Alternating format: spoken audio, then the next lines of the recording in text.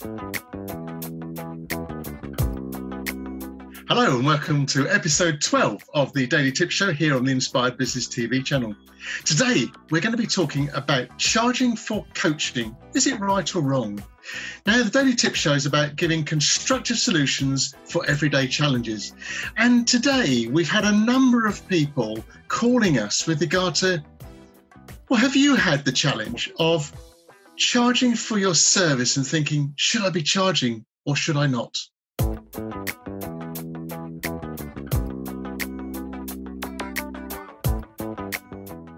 My name's Gary Setterfield, and with my business partner, and good friend Sukhi Wahiwala, we're going to discuss this point. Now, remember, at the end, we're going to have the Power Tips Roundup, which will highlight the key elements that Sukhi's discussed through the conversation. So, Sukhi, welcome. Hi, team, and thank you very much to the Inspired Tribe and yourself, Gary, and for us to have this amazing platform called the Daily Tip Show for bite sized solutions to daily challenges. Sukhi, why should someone be thinking, as a coach, why should I charge for my services when, in all point of fact, are they not actually providing a very valuable service which creates and makes real change in people? Wow, Gary, that's a that's a serious dichotomy, isn't it? It's like a it's a real polarized view. I'm not sure if any of the, the listeners today who are coaches, consultants, or trainers when you classify yourself as a therapist or a coach, you get a very different energy, a place of center compared to somebody who's a consultant um, or a mentor. Does some extent. Consultants, mentors don't have much of a problem around charging for their services because they're consulting for that reason.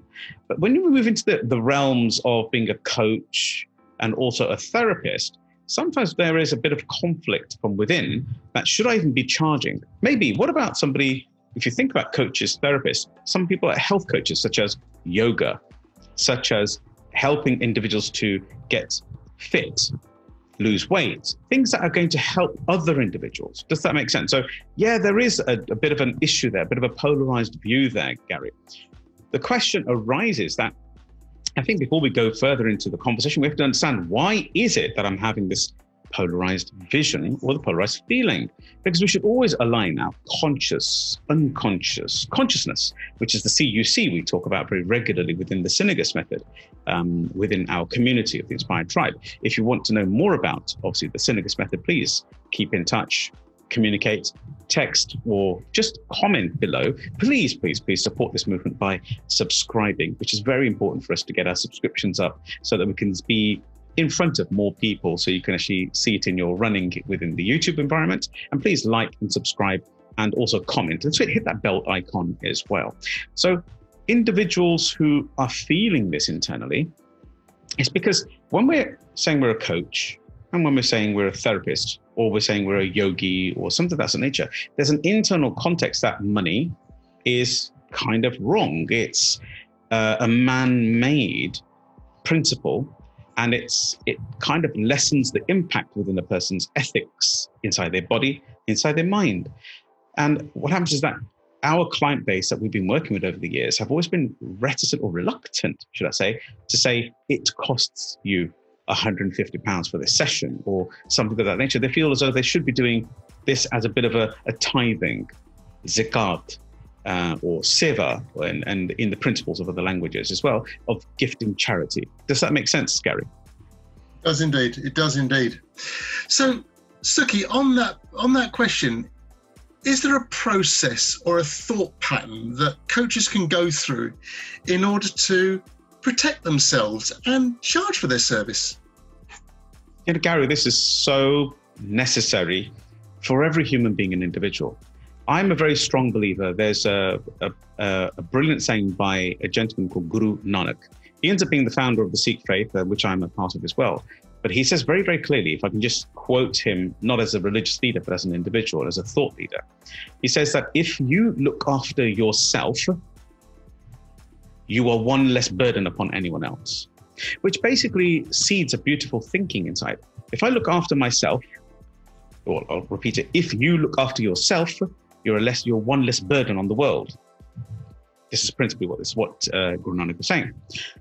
So the, the understanding of this is that if I help myself, and only then can I help others. Now we've heard that within the coaching arena quite regularly. So the first few steps that I come into my brain, if I'm going to take this journey with you, is the principle that actually being a coach, um, and a spiritual service of some kind, an academic service of some kind, we also deserve, you as an individual still deserve to have enough money to look after yourself, help myself before helping another. We've heard a, a bit of a, a cliched example given quite regularly, but it's a reality. And uh, in this current COVID times, obviously, it's a is not such a reality when we're saying that if a person was flying, for example, and God forbid there was a an emergency, the oxygen drops. You've heard this before, but please accept my uh, principle of understanding of putting the frame in place. Is that if the oxygen drops, the first thing that you're told to do 100% is to grab the mask and place it on your own face.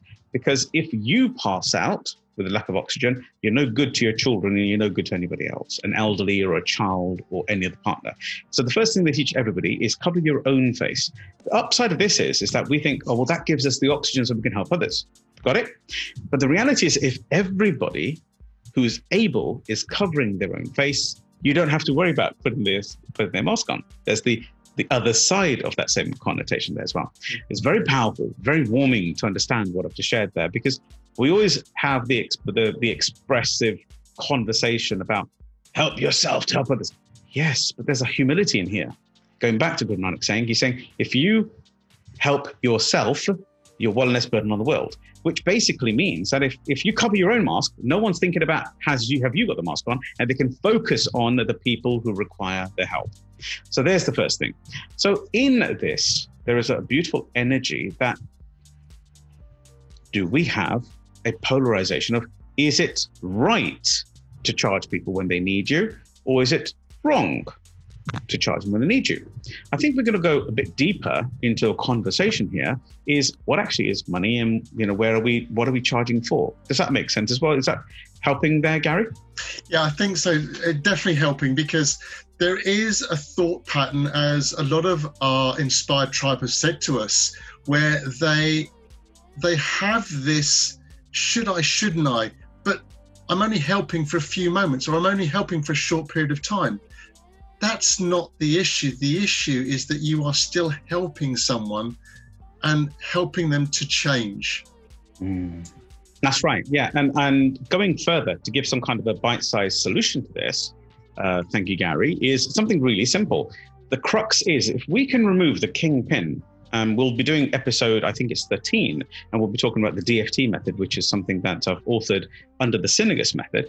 But it's a, a, a module under there called DFT, which is direct focused thought, and also known as daily focused time when it's habitual in the focused realm, and direct focused thought when it's in the emotional clarity realm. So the principal conversation here is we wind ourselves to a single understanding that if we removed the one restriction in our brain, we would also feel free with our thinking. So I'm not going to go through the DFT because we'll do that in episode 13 of the Daily Tip Show. But what I'll do is I'll talk about the principle is what is the underlying challenge that we're facing. And this is fundamentally that money is man made and it's wrong.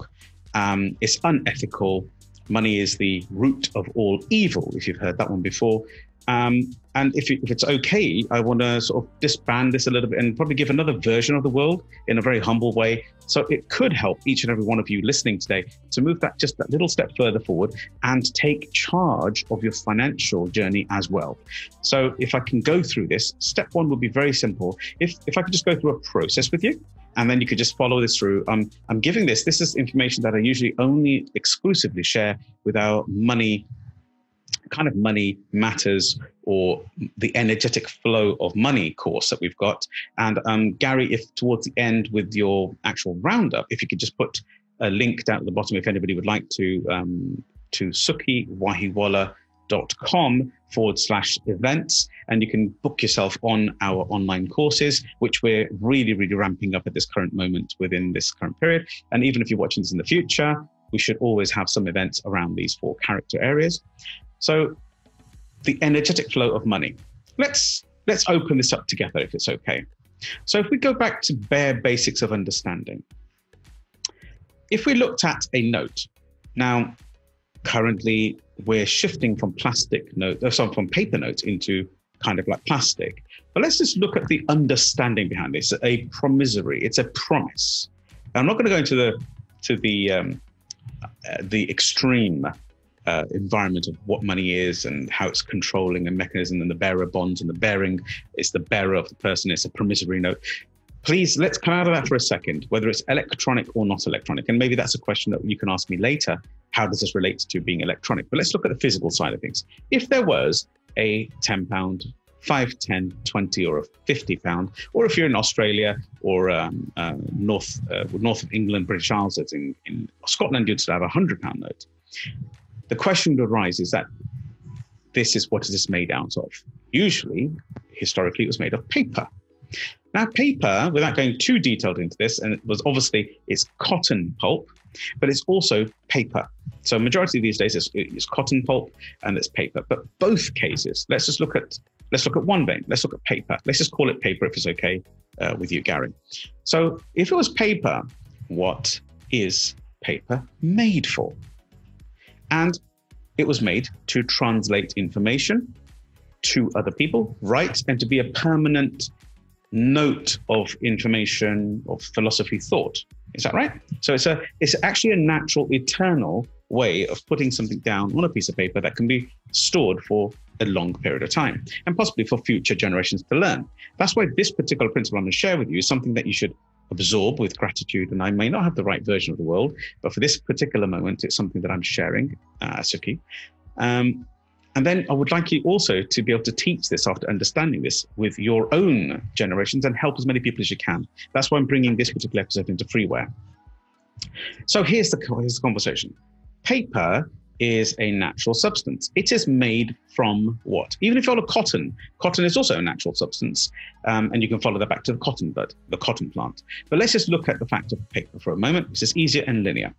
If we said a tree is principally paper is made of a tree, yeah? So itself being wood. Once upon a time, they obviously used to slice slice paper. One a tree is 100% to get to that finish on the paper. But let's just say it's a tree. A tree has a mixture without going too much into science, just as bite size.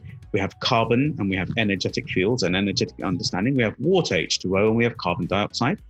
So the tree does not require carbon dioxide, but it requires the oxygen through photosynthesis as a process to bond the energetic points, the, the, the photosynthesis energy to create some kind of a food that can be ingested.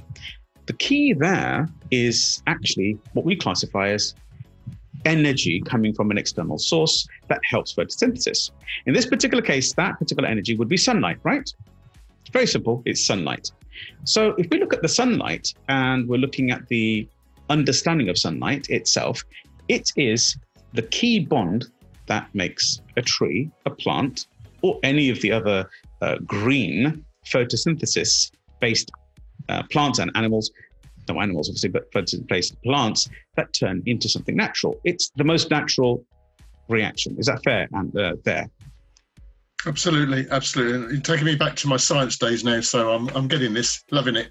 Thank you. And with reference to sunlight, the sunlight we receive, give or take a few thousand years, is approximately 10,000 years in its journey to hit this earth. Okay. So it's very ancient, ancient sunlight. Okay. So sunlight itself is quite natural, is it not? So then we go down the principle of understanding. Let's just look at this a second. Sunlight is the source of all carbon connections. It's actually the source of energy. We know in this known universe that energy doesn't deplete or decrease or disintegrate. It does nothing but move in from flow, moving its form, changing its progress. For example, you could drink it and it becomes water, you turn it into energy in your body, and then it becomes something else. Does that make sense? So it's always in flow it is constantly what we see as degenerating, but it's not, it's just translating or transferring its form into something else. Is that fair? Is, yeah. Yeah, okay. So now let's move forward. We're going to a principle of understanding that it's quite natural, it is truly acceptable to us as human beings. And I'm going to speed this up just a little bit to get you get a smaller example.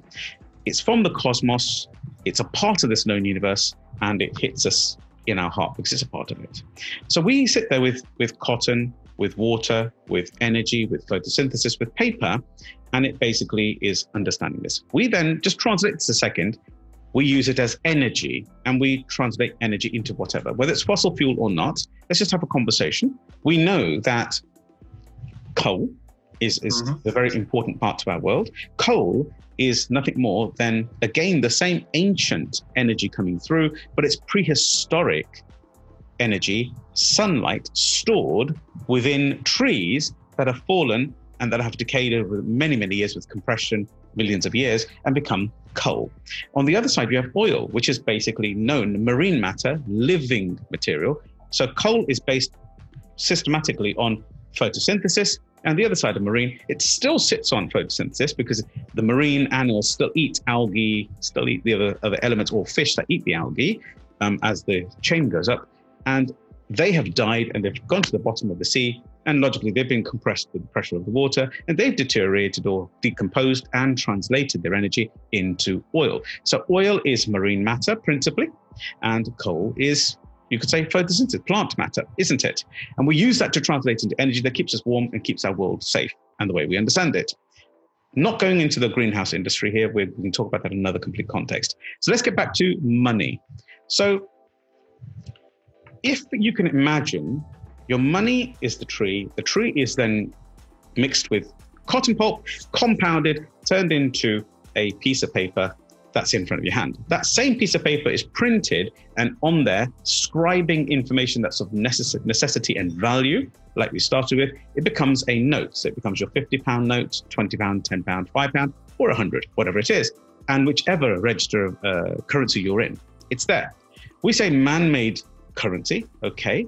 It's not actually currency, it's just paper. Paper equals sunlight. So the question I'm asking you isn't this piece of paper just energy? And in specific, sunlight, and in specific, the core to all of man's creation. Yes or no? Yes, it is. On the way that you've explained it, yes, it is. So, what could be more natural than to look after oneself so that I'm one less burden on the world, on any other human being and using the energetic field that's gifted to us by sunlight to exchange energy and value because the only real value we have in life is energy, right? When we love somebody, that's an energetic transfer. So this promissory is nothing more, nothing less than a reference point to handing energy to each other. So does that understand get clear? We're exchanging energy. Fascinating. Absolutely brilliant. I love that we ask ourselves, how does this translate into digital? Digital, how does it become an electronic thing? Because these days we pay by card, we pay by plastic online, we pay by online transfer, PayPal, etc. So the principal understanding of this is that that is still an electronic energetic transfer from your information, right? It's an electronic machine, Mac, PC, whatever, a phone, and you're transferring it over. Here's the fun part. That energy was created by our two main philosophy of uh, fossil fuels at some stage and in future will obviously become an energy transfer as well. We're either burning coal or oil, or alternatively, we're becoming hydro. We're becoming, you know, water, for example, or we're becoming wind, which is again energetic fields. It's the same sunlight, the same turbulence, the same weather fields, the same understanding that we're creating physics that turns into nothing well, basically translates the sunlight energy core into something that we can exchange. So this is as the most honest barter that we could ever think of, right? We can physically turn around and easily hand a barter to make it the most humble and honest thing that we could actually trade with. So I hope this is helping individuals to release themselves from the anxiety or the the limiting belief that money is not natural, it's man-made, and it's not. It's uh, the root of all evil. That probably fits in some people's brains. This is not evil. It is your uh, your unapologetic uh, request for energy transference. As you give the love and energy to another person, they're going to give you the same love and energy. And this is a matter product that you're exchanging with. So it's of value to you. So once you've got that value, I hope this is dismaying that feeling at some stage. But if you'd like to go further, please jump on to the course that we're going to deliver, which is Money Matters or the Energetic Field of Money or Energy of Money. There's two or three courses that will fit in this. Um, just reach out to us and we'll connect. Back to you, Gary. Sukhi, absolutely amazing. Um, I hope the rest of the audience will have learnt how we can now view money in a different way, a more friendly way, a more flow. So, remember, the power tip's just going to do the power tip round in a moment, but remember, any comments, please comment below, do subscribe, and remember to follow Sukhi on his official social media channels that's Twitter, YouTube, Facebook, and Instagram. And as I say, also look at sukhiwahiwala.com forward slash events for upcoming dates of events and courses that we'll be running. So we asked ourselves the question charging for coaching, wrong or right? So we looked at point one being a therapist or a coach, and we likened that to the effect of being a consultant. And did they charge? We then looked at the health and fitness coaches and the polarization vision in point two. In point three, we went back to CUC and being the conscious, unconscious, consciousness thinking. Then in point four, we then looked at money and we actually asked the question is it wrong? What is the reluctance and why is it there? In point five, we talked about, do you remember, the gas mask coming down and the oxygen mask coming down on a plane and helping yourself first in order to help others, Guru Nanak. Then in point six, we asked, is it right or wrong to charge and what is money? In point seven, tip seven, we looked at money being man made. Is that right or wrong? And then we went into the energetic flow in t- point eight, the energetic flow of money process, looking at how it's made paper, cotton, trees, carbon, water, oxygen. And then we looked at big section nine on photosynthesis, and that took me back to my school days, and I'm sure it will you yourself. And then finally, we looked at point 10, and this is the crux that money is basically energy. And whether it's paper or whether it's electronic, it's a flow of energy and it's the it's the giving of a service and the receiving of reward. So I hope you've enjoyed that. As I say, please do keep in touch, follow us daily, follow Sukhi, and remember if you've got your friends, tell them about us, show them the Daily Tips Show, and we look forward to seeing you on the next episode. Bye bye.